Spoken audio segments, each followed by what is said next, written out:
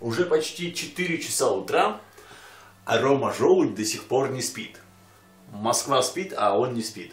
Хватит писать Твиттере, ложись спать. Э, пока. Будем дружить.